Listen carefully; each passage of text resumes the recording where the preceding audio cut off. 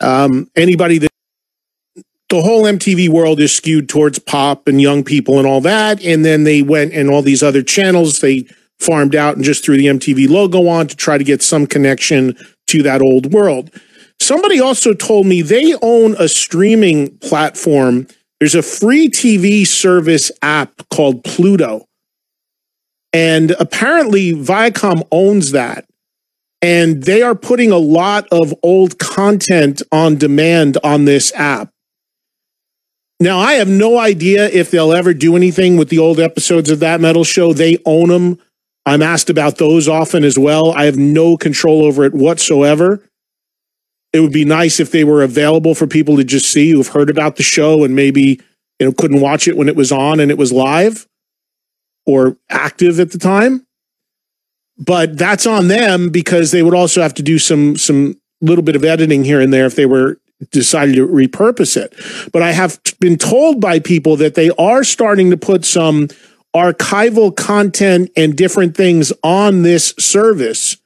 Because if you notice, everybody in the world has got an app now in terms of broadcast outlets, meaning CBS and Fox and whoever. Most of them, there's some fee attached. This particular app, there isn't. The whole point about it is it's free but I don't know what their long term goals are with it. And should any of the stuff I, I mean, hell, before that metal show, I've got six years of interviews and live performances I did in studios at VH1 Classic. I would just love for people to be able to see. But I, again, that's all their world. I have no idea what they're doing there. All right. Uh, we got to do that top of the hour. Coming back with former test time to grab some calls here in the first hour. Uh, Lauren is working with me once again. The, the Sirius XM volume staff is scattered about just getting up to speed on that. Um, it's just a little bit of a hodgepodge here as everything sort of gets settled and figured out. For me, it's business as usual, being that, as I said, I've worked remotely for, for a long time now. But the some of the support staff is also scattered around. We're going to talk to Tommy Skeoch and Bite. That's the name of the band. And they've got a brand new song that's really good. So I'm glad to see him making music and introducing a new band.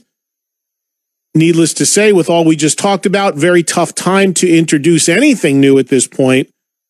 I mean, that's the problem. Even with releasing music, you sure you bands want to can put out music or put out records, but everything is being so consumed in terms of people's focus on what's happening in the world that I think a lot of things are falling between the cracks. And I think in a lot of ways, people are just checked out to anything but their concern over what's happening. But we'll try to create some diversions here, at least for a couple hours a day, if you're a rock fan and do what we do. Tommy will join me live at the top of the hour at 3 Eastern, noon Pacific.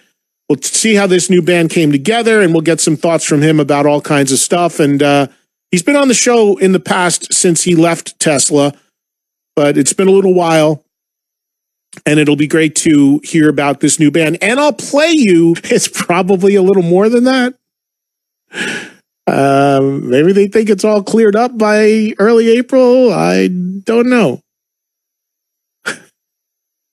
Here's the funny thing, and I'm not going to name names, but there are a lot of bands quote, national bands that tour that do not draw or sell more than 200 tickets. Most of them, by, by the way. I know because I hear about it from the promoters all the time. So conceivably, if the venues are open, there's a good amount of bands that could be touring right now because they draw about 150 to 200.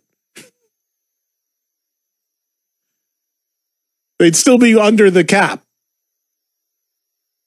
again, you just gotta, you gotta just, I'm trying to bring a little levity because it's been so friggin' doom and gloom, man. But uh, we'll get through it. I'm